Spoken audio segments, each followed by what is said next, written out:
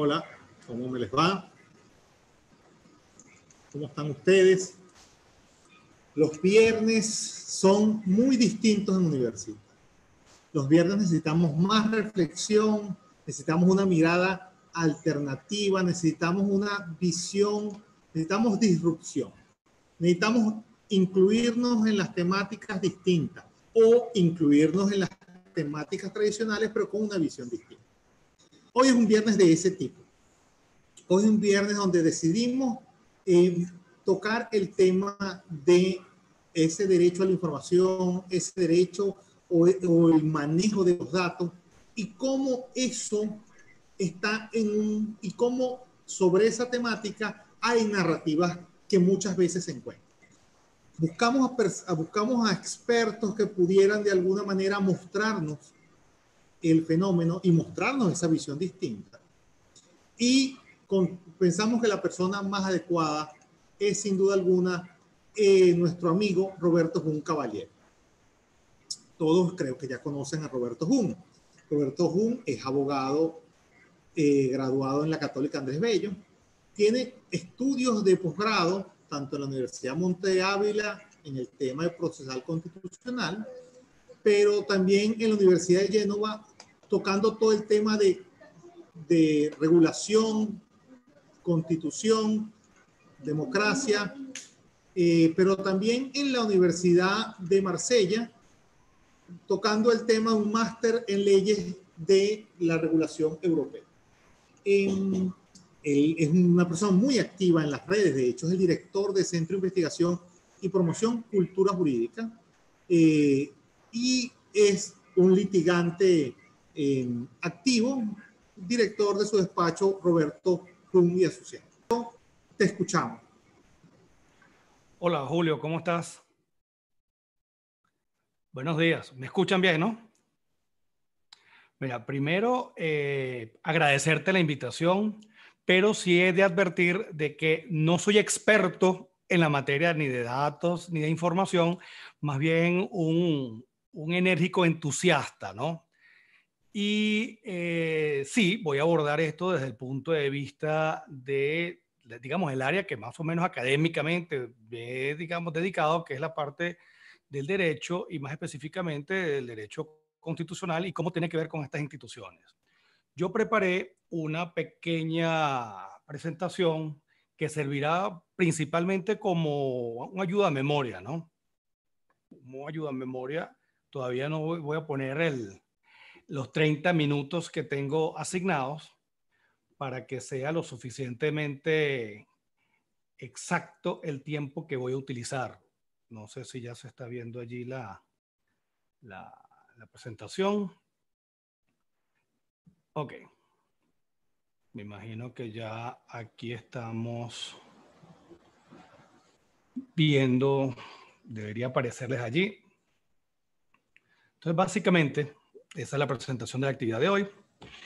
Yo escribo, yo tengo una columna en el Nacional que sale los últimos viernes de cada, de cada mes.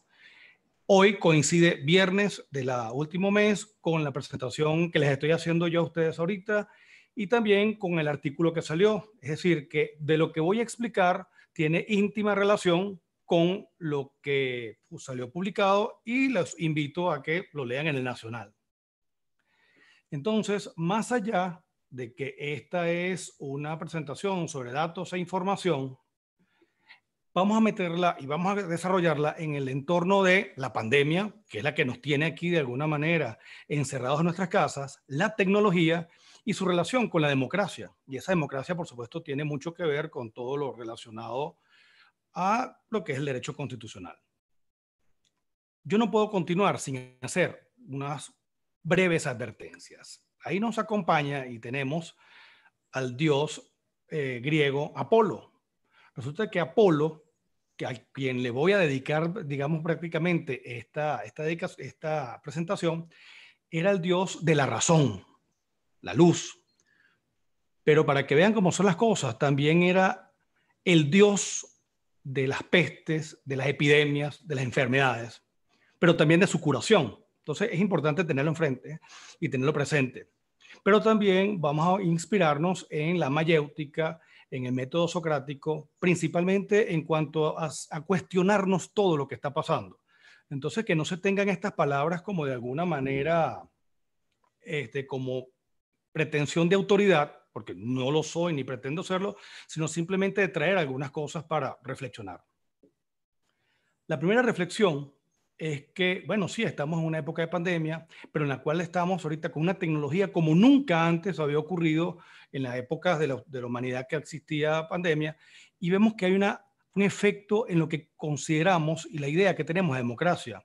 No en vano, todo esto está ocurriendo en un momento donde hay eh, coronavirus, coronavirus, hay momentos de tensión política internacional, geopolítica, hay unos conceptos de ley, de derecho, de estado de excepción, entonces también estamos con la parte de tecnología y ese es el contexto en el cual vamos a hablar. Incluso ahí vemos un 5G, porque hasta esa, quinta generación de telecomunicaciones hasta ha, ha sido eh, blanco de ataques de que a lo mejor es la culpable de mucho de esto que está pasando. La agenda que vamos a utilizar básicamente va a ser cuatro secciones. Una primera que vamos a hablar entre las catástrofes y las epidemias en general.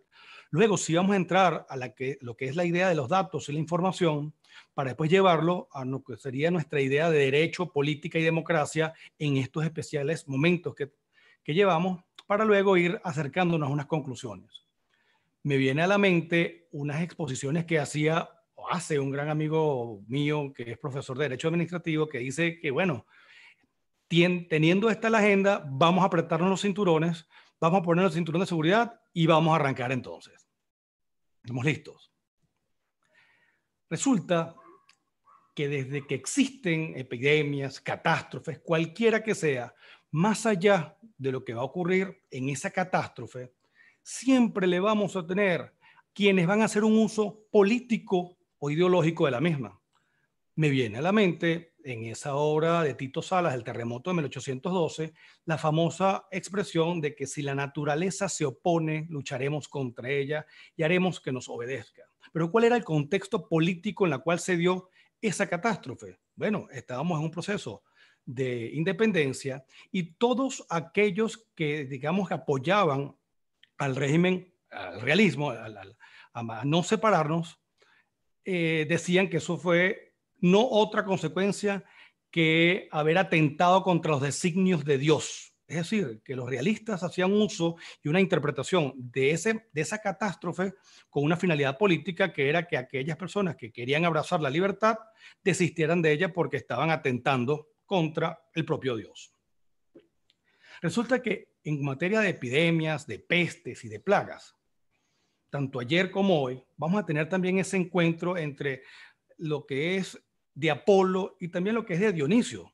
Es decir, la disposición humana entre la razón, pensar, ser lo más frío posible para poder no verse turbado en lo que está, lo que tenemos que analizar y aquella actuación más visceral, es decir, arrancar por las emociones, que no es que sea malo, pero hay momentos en los cuales hay que pretender abordar este tipo de situaciones con más razón.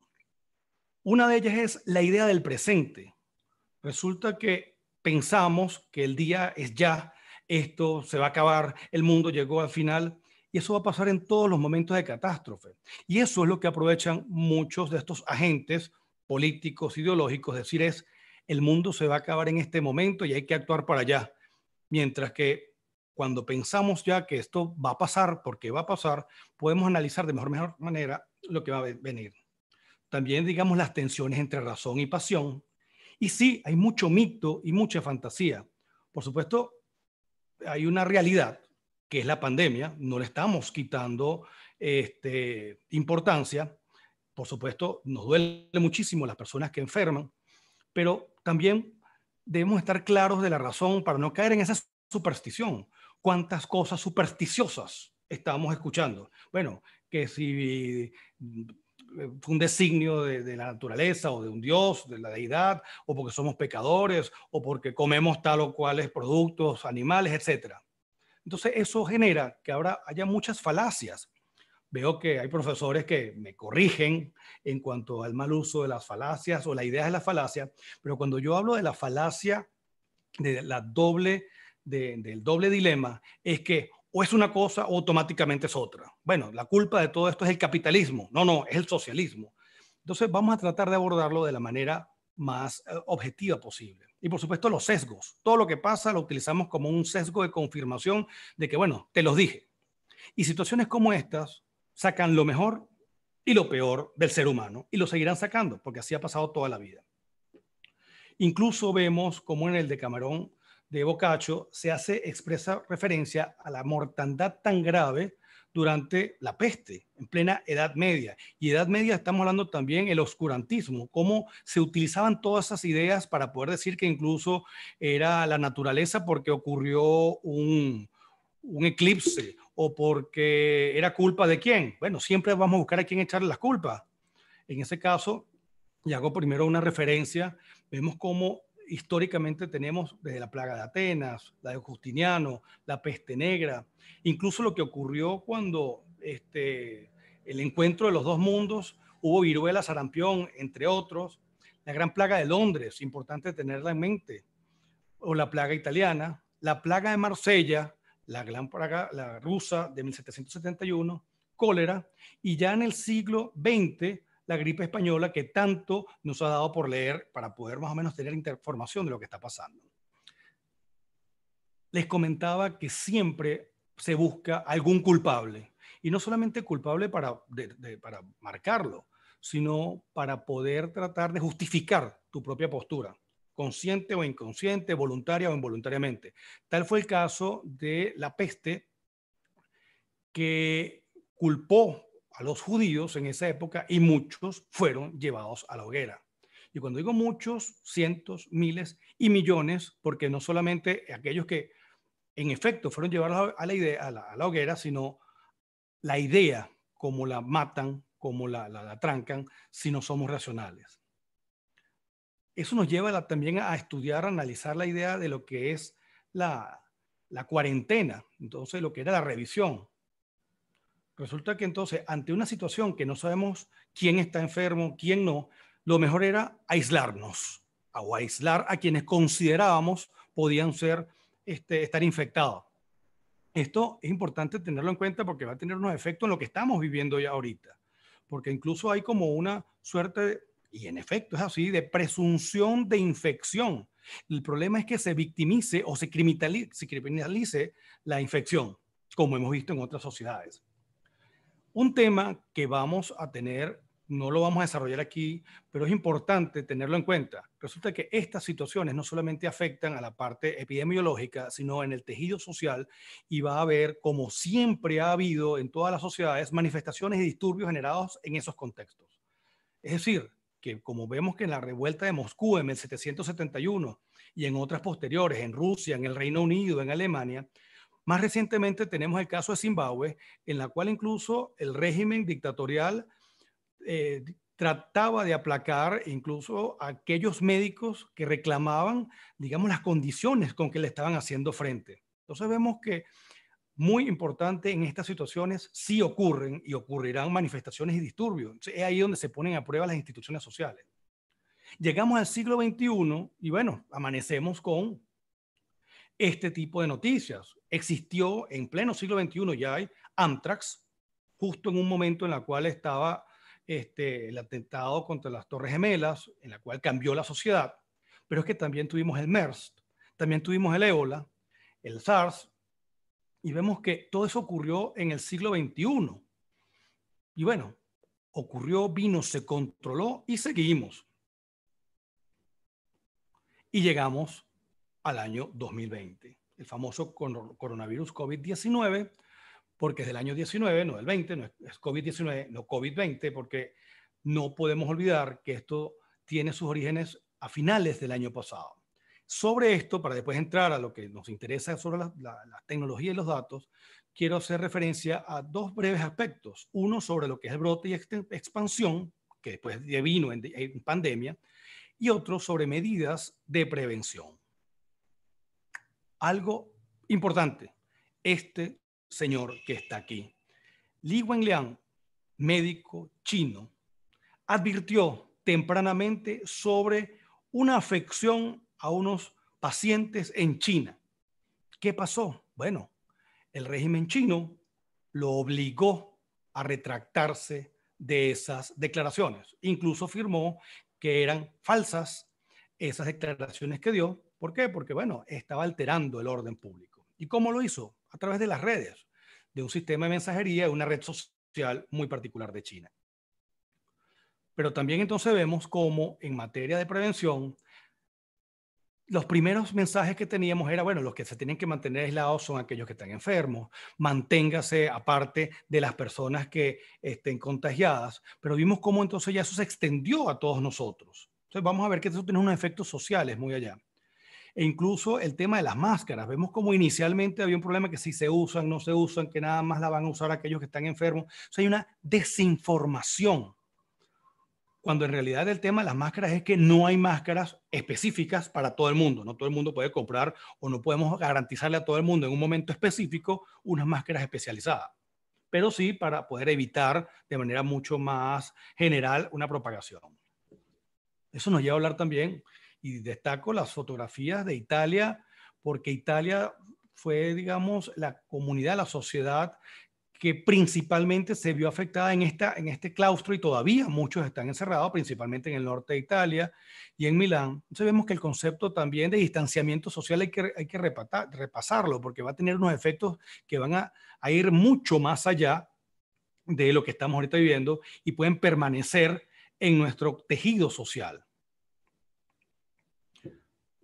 Importante, últimos, las últimas semanas, los últimos días siempre se ha hablado del caso de la gripe española, que valga destacar y recordar de que no se dio en España, es, decir, que mencionarla como española no significa que estamos en contra de los españoles, igual que no estamos en contra de los chinos cuando tú hablas del virus chino, pero ahí fue que se generó y por supuesto algo tiene de responsabilidad el haber acallado al doctor Wen Liang, eh, Liang pero entonces vemos cómo en dos ciudades de los Estados Unidos, y ahí es donde empieza a ver la parte de la data, de la información que tenemos para enfrentar una situación en particular, tuvo efectos distintos en Filadelfia y en St. Louis.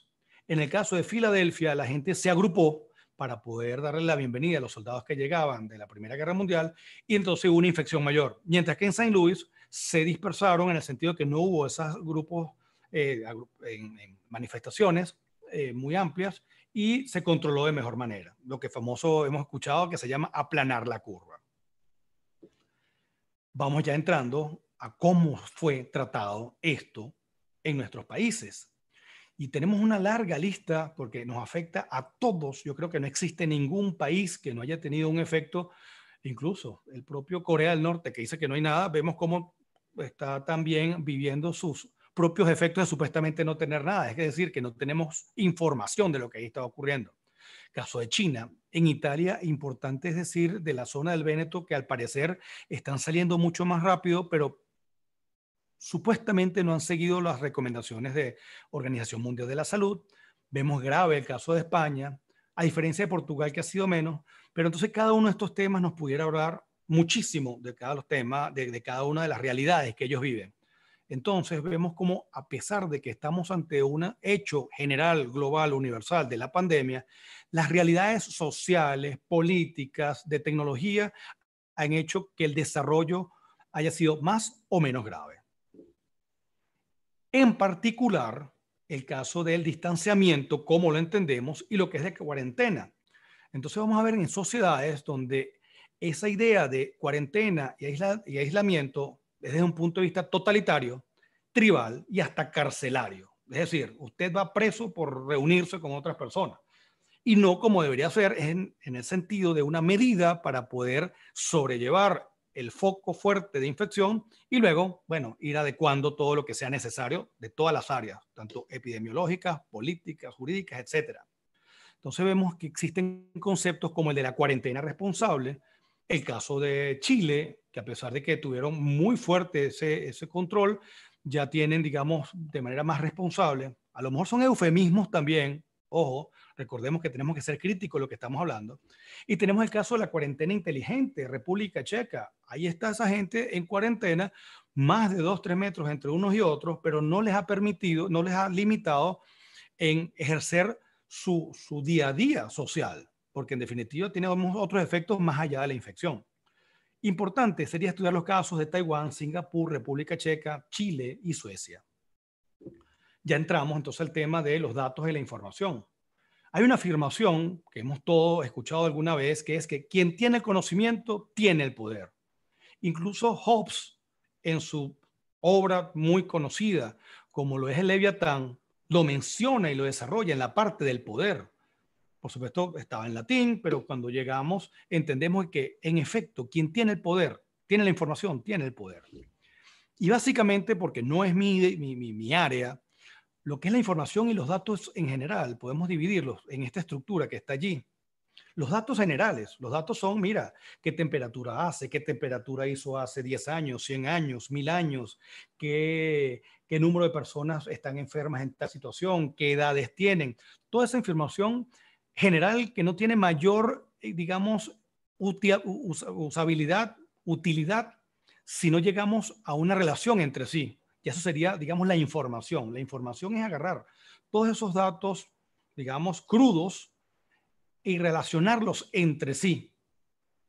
Cuando llega ya a un nivel más de interacción, de que ya tienes para qué lo vas a utilizar, ya podríamos hablar de lo que es el conocimiento. Bueno, estos datos que ocurrieron hace tantos años con las personas que estaban infectadas y este fue el tratamiento que se usó, que se usó para salir de esa situación, genera lo que entendemos como un conocimiento que podemos utilizar para poder sobrellevar esto que estamos utilizando, que estamos padeciendo ahorita. Y por supuesto, en un nivel ya más elevado, pudiéramos considerar de que quien utiliza esos datos a modo de información, luego conocimiento, llegaría a un nivel de sabiduría entonces, aquellas, digamos, sociedades, para no atribuírselo, atribuírselo a ninguna persona, que utiliza todo eso con fines, digamos, y ahí también ahí está la parte teleológica de para cuáles serán esos fines, usted, serían sociedades con una gran sabiduría. Pero entonces, en estos momentos que tenemos, ¿qué son esos datos? ¿De quién son? ¿Cómo los usa? ¿Para qué? ¿Y dónde están? ¿Cuándo los utiliza? Resulta que si yo tengo tal edad, tal peso, como tal cosa, me interesa solamente a mí. ¿Qué pasa si sabemos que determinada sociedad tiene tantos X hábitos alimenticios de comer este, tales productos animales sin la debida protección o verificación eh, de sanidad? Puede tener efectos en otro lado del mundo, porque yo creo que ya está la parte del, del, del, murciélago ha quedado atrás. Entonces, en un momento en el cual la información está en todos lados, tenemos que ser muy celosos de qué es la información, para qué se usa, quién la usa.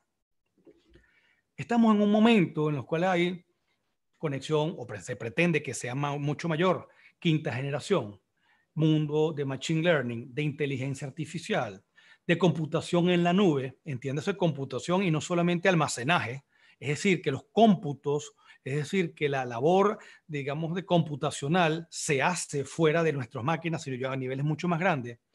Estamos en la era de los megadatos y la big data, de la época de la Internet de las cosas. Es decir, que toda esa información va a venir incrementada porque vamos a poder medir todo lo que está pasando en el mundo en, en tiempo real. Y eso tiene que ver con lo que, con lo que estamos padeciendo. Y aquí quiero detenerme rapidito a hablar algo de las famosas apps. Resulta que ahorita todo es a través de apps.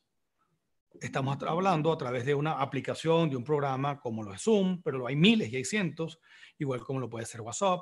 Es decir, las aplicaciones sirven para poder intercambiarnos todos nosotros data, porque en definitiva es data. Una fotografía hoy en día es data.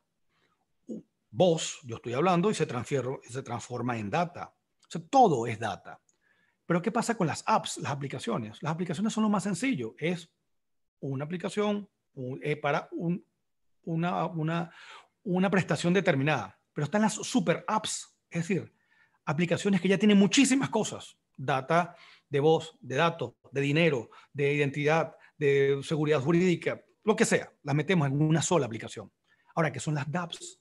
Son las mismas o las super dApps pero descentralizadas. Es decir, no son de ningún ente centralizado, sea público, sea privado. Es decir, información, la data, no es de alguien ni estado, digamos, almacenada en un solo lugar que esa sola persona pueda hacer uso de ellas. ¿Y qué podemos decir de la libertad de expresión o los fake news, los deepfakes y lo que se ha hecho muy conocido ahorita, la infodemia?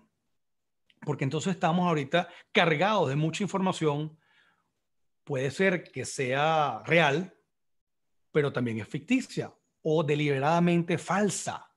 ¿Para qué? Bueno, con fines ideológicos, con fines políticos, porque la libertad de expresión se puede atacar, bien sea limitándola, pero también puede ser invadiendo con, con, virus, incluso de manera viral, con información falsa. Pero es que tenemos también graves datos, problemas de que hay plataformas en las cuales te dicen, mira, tú estás bloqueado para compartir videos en vivo porque estás desarrollando o estás hablando de un tema que es muy sensible y no estamos hablando precisamente en China. Podemos conseguir cierta, cierto alivio en pensadores, como lo fue Alexis de Tocqueville, que a pesar de que él dice que no compartía lo que era la plena libertad de expresión, como él notó en los Estados Unidos de Norteamérica, iniciándose en su vida, digamos, republicana, que ese fue su trabajo que hizo, él, él señalaba que era preferible que a tener un Estado totalmente cerrado. Entonces vemos que a lo mejor el justificar ciertas cosas porque supuestamente son falsas, etcétera, yo creo que deberían dejarse pasar porque peor es tener a alguien que se atribuya como dueño de la verdad y que trate de imponérnosla.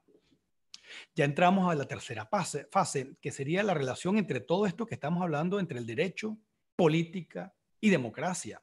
Entonces, es válido preguntarnos qué entendemos hoy, en el siglo XXI, y más específicamente iniciando la segunda década, qué entendemos por derecho, cuál es nuestra idea de Estado y cómo se, se, se transformaría con esto que está pasando y cuál sería la función del Estado, también de la democracia, o la dejamos simplemente a tomar decisiones por mayoría. Entonces vamos a repasar algunos temas de estos. Resulta que viene el COVID-19 en un momento con una agenda política y de liderazgo político bastante compleja. Date cuenta que ya ni siquiera se habla del Brexit. Agarró a Europa saliendo todavía en la euforia del Brexit, pero es que también tenemos un momento de año electoral en los Estados Unidos. Tenemos una situación compleja de política en España. Tenemos una situación mucho más compleja, porque digamos es la que padecemos nosotros en Venezuela, que es nuestra realidad política social de Venezuela, pero es que también tenemos este, otros actores. Ejemplo, por supuesto, México, cada quien tiene su, su realidad política han estado los líderes políticos a la altura que es necesaria en estos momentos? No sé, tengo muchas dudas porque también es utilizado para justificar otras de las, de las ideologías o de las posiciones políticas y de liderazgo o supuesto liderazgo.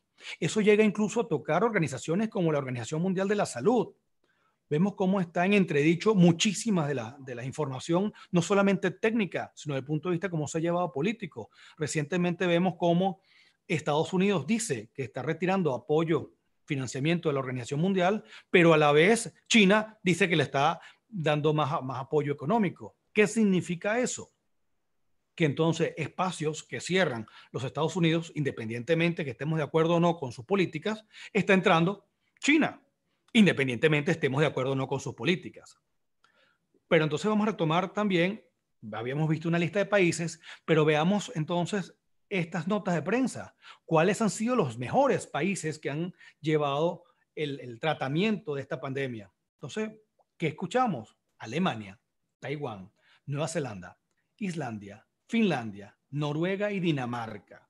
es interesante y además liderado por mujeres más allá de las consideraciones que podamos hacer sobre feminismo sí, feminismo no, etcétera, vemos que el liderazgo político ha sido totalmente distinto.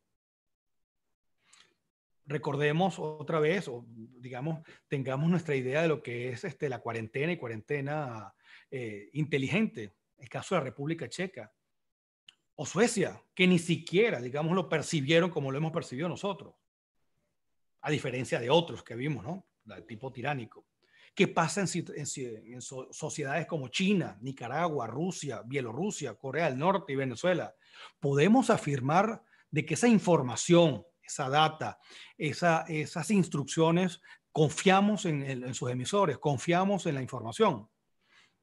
Independientemente, no vamos a entrar en, detalles, pero sabemos que eh, aquí habríamos uh, otros temas, pero digamos que no es tan transparente como aquellos que tienen mayores muertos, mayores fatalidades, pero porque son abiertamente, sabemos lo que está ocurriendo.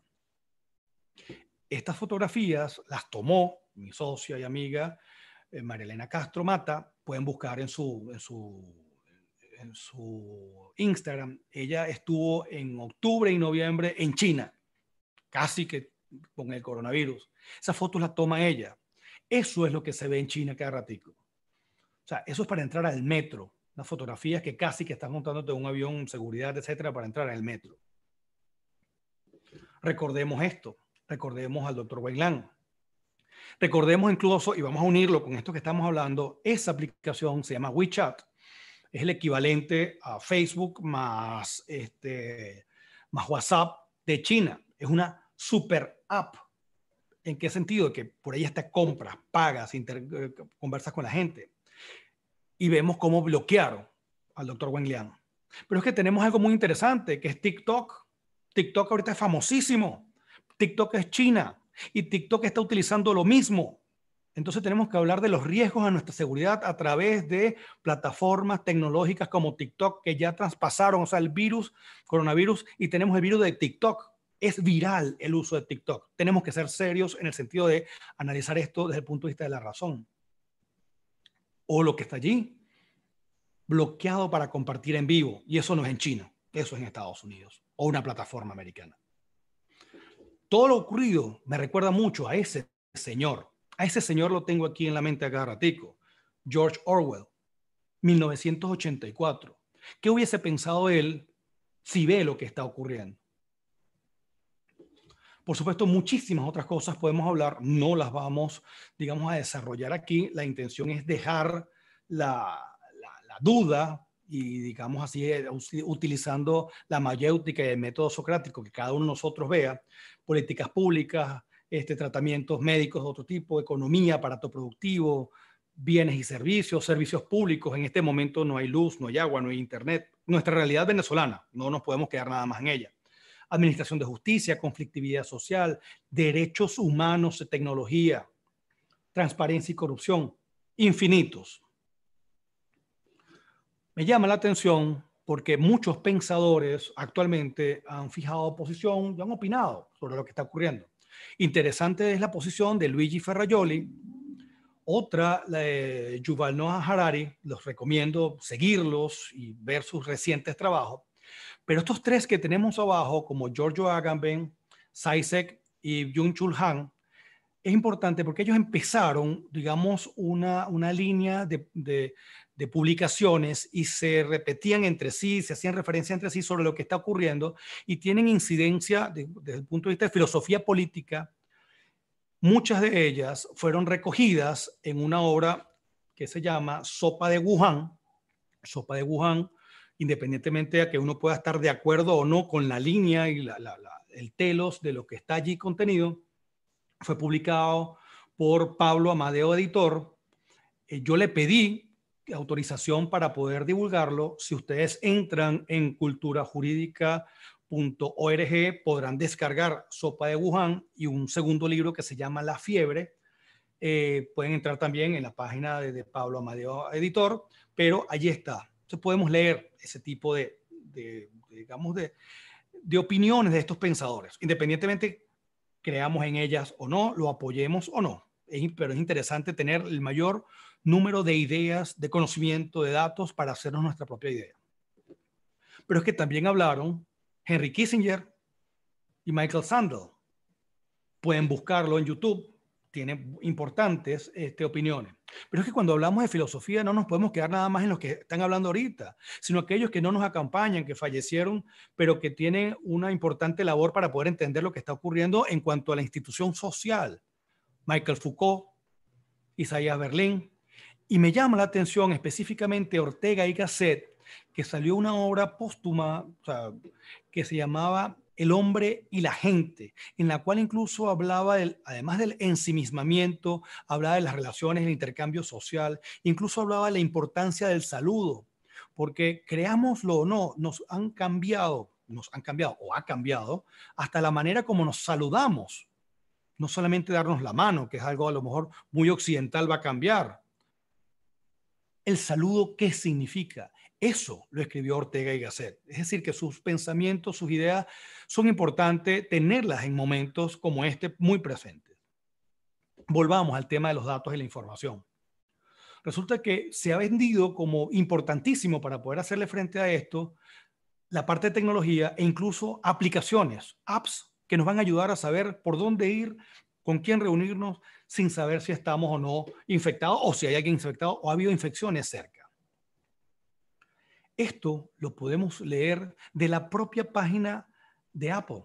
Apple ha trabajado y tiene una herramienta para poder evaluar el COVID-19 y lo está haciendo con el Departamento Federal de, de, Enfermedades, Epidemiología, Epidemiología y la Casa Blanca.